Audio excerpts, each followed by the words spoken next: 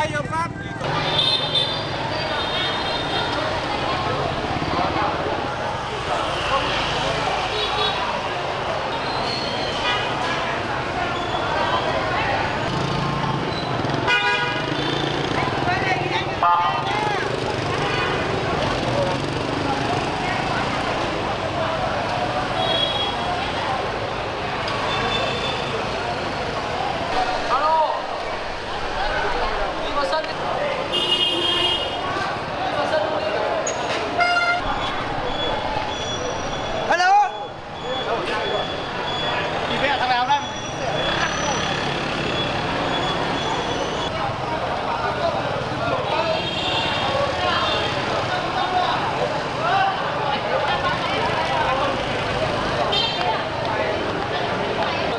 chỉ có chạy đầu lên rồi đường qua đây có bất động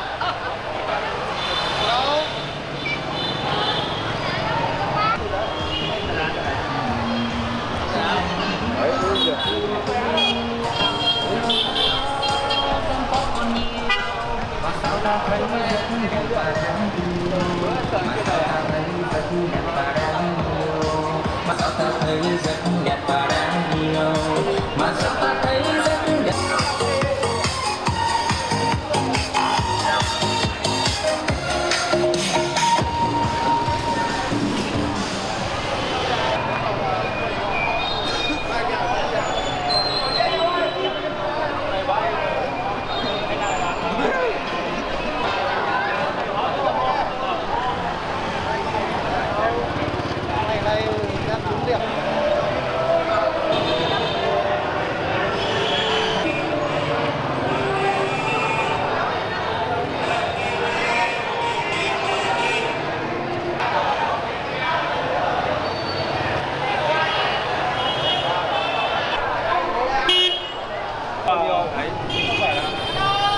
ta dơ thẻ dơ vé cao lên trên, trên tay để vào soát vé ngay được rồi.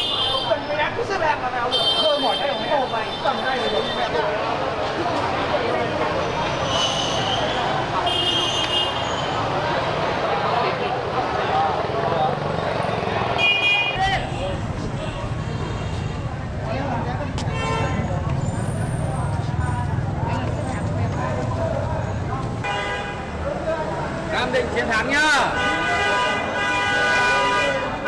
Anh em xong rồi Em em em.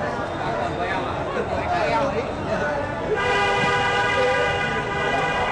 Cầm vé cầm nhỏ tay nào. Gì? Cho trên em lấy em đi điện thoại Vào đâu? Đi ra đi. Vào đi mai vào đi mai không ra được đâu, vào đi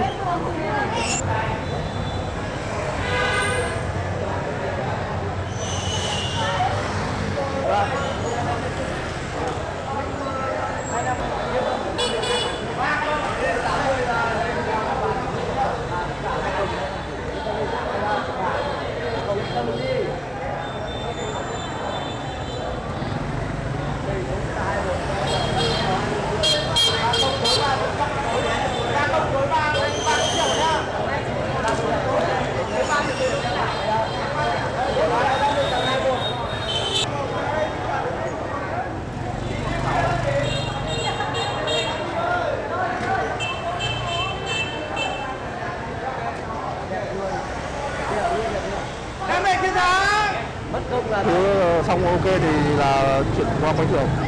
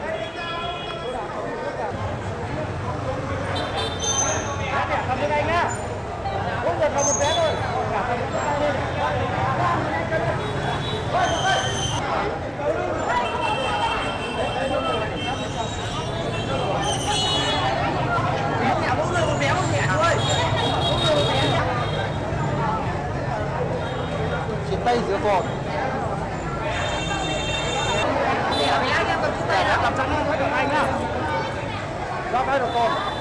Có lên nhá. Ờ, anh Lương có thể cho biết là là hôm nay thì ờ, bóng đá trở lại sau dịch là trận đấu đầu tiên của của luyện Nam Định ờ, sau cái dịch được vào sân như thế thì anh cảm thấy như thế nào? rất phấn khởi. Với chúng tôi là niềm tự hào của người con Nam Định với tất cả bóng đá Nam Định. Vâng, tình yêu chúng tôi có từ lâu rồi. Vâng. Thế hôm nay kế hoạch để chuẩn bị đi cổ vũ như thế nào? À, chúng tôi đã cổ ờ, chuẩn bị ngay từ lúc ờ, hôm qua, có nghĩa là khẩu trang đầy đủ các thứ như chống dịch vào đúng qua là là là theo ờ, tiêu chuẩn của của của ờ, ban tổ chức để cho phép. Vâng. Ờ, nhưng mà hôm nay thì ờ, cái ờ, cái quy định của ban tổ chức chỉ là ờ, có 10 10 nghìn vé tức là sẽ chỉ có 10 nghìn cổ động viên trong khi cái nhu cầu của cổ động viên Nam Định thì liệu điều này nó có bị mâu thuẫn không ạ? À có, nói chung là mua vé như vào cái thời điểm gọi là là mùa dịch này thì hạn chế cổ động viên vào thì như chúng tôi thì hội cổ động viên là đã có ờ, mua vé mùa rồi. Còn những người coi là ở xa đến cũng có người cũng mua được vé tại vì là khán giả cho vào có 10.000 thôi. Vâng, đấy. Là là nó cũng ờ, cũng cũng ờ, là là là là rất nhiều người muốn đến cổ động viên nhưng mà chỉ có hạn chế như thế, cũng không dám đến. À, vậy thì thì, thì hôm nay thì thì khán đài của thị thị trường nếu mà khán giả nó không được đông như thế thì thì liệu cái sức nóng nó có bị ảnh hưởng? tất nhiên nó cũng không làm ảnh hưởng. Chúng tôi sẽ cuồng nhiệt đến, gọi là, đến à, giây phút cuối cùng để cho các cầu thủ Nam Định, gọi là, hết mình, đá 200% vâng. Chúng tôi đã bảo là một khi đá với thể công ngày xưa, đá với câu lạc bộ quân đội ngày xưa, cho đến bây giờ, gọi là Việt theo chúng tôi sẽ đá hết mình vâng 200% cháu đã háo hức trận này từ từ trước Tết rồi ạ. Bởi vì uh, tuy nhiên là vì dịch Covid-19 nên là trận đấu này đã được hoãn lại đến ờ, tận bây giờ. Thì uh, dù uh, đang dịch nhưng mà mọi người vẫn rất chấp hành uh, những luật của do Bộ Y tế và nhà nước đề ra.